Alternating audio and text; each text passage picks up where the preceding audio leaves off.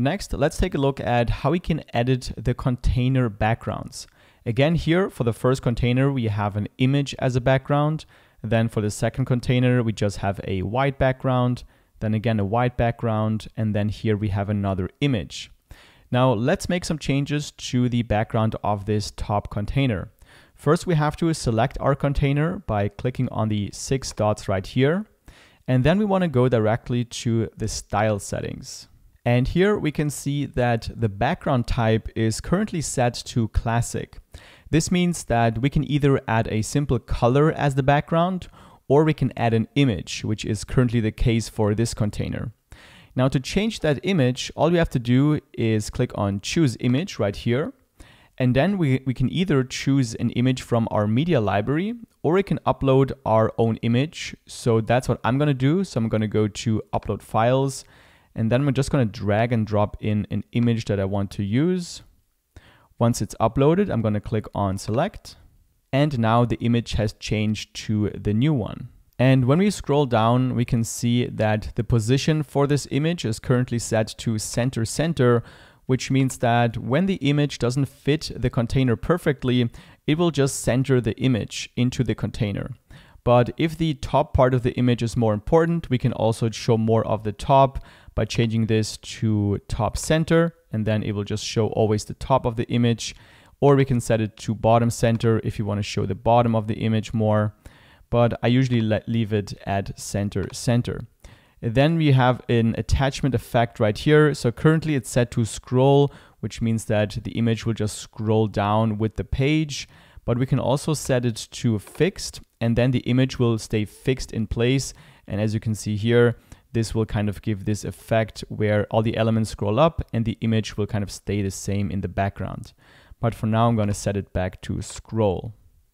Then usually you want to leave the display size to cover to make sure the image covers the entire screen. And here under background overlay, we also get some useful options. For example, let's say we want to increase or decrease the brightness of this background here. What we can do is just add an overlay color and then play around with the opacity.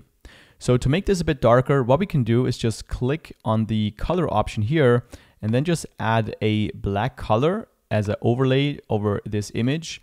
And then here we can just play around with the opacity and make it all the way dark, or we can make it a bit brighter by decreasing the opacity of this black color overlay.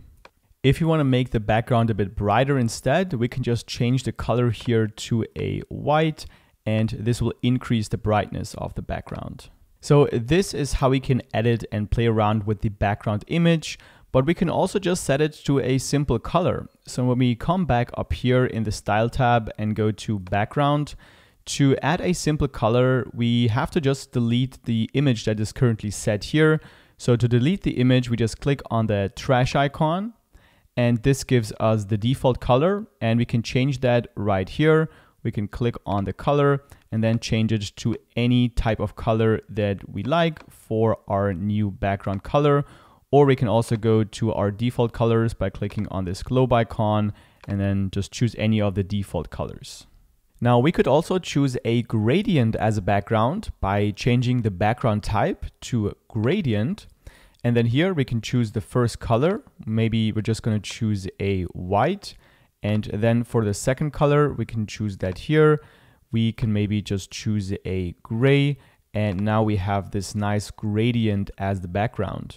And another very cool thing we can do here is add a video as a background. For this, we have to change the background type to video. And then the easiest way is to just upload your video to YouTube and paste in the video link to this field right here. I've just taken an example video that I found. And by just pasting in this URL, the video will start playing here as a background. Now, maybe you want to have the video start at a specific time, then you can just enter the start time right here. Maybe I'm just to have it start at five seconds and then we'll end the video at 120 seconds. And then it will just play as a loop between the 5 second and 120 second timestamp.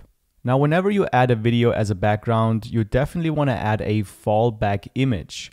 That's because sometimes the video doesn't play for some reason and then you want to have it display a specific image so that there's actually content in the background. So to add a fallback image, we just click on the plus icon here and then we can just add an image. So maybe we'll just add the cloud image that we've used before and click on select. And now if for some reason the video doesn't play, maybe it gets deleted, we just have this image as a background. And then down here for background overlay, we have the same options as before. So we can add an overlay color. Maybe we want to add a white color and then we can change the opacity to kind of brighten this video up, or we can also um, just decrease the opacity right here. And then the last type of background would be a slideshow. So to do that, let's go back to the background tab here, and then let's switch the background type to slideshow. And then here we can select our images by clicking on the plus icon. Here I'm just going to select some of the images I already have in the media library. Let's just take these four and click on create new gallery. Here we can also mess around with the order of the slideshow and then click on insert gallery. And now we have these images that will be displayed as a background and then it will just change the images every few seconds. And here we can set all the values for duration, transition, transition duration, and so on.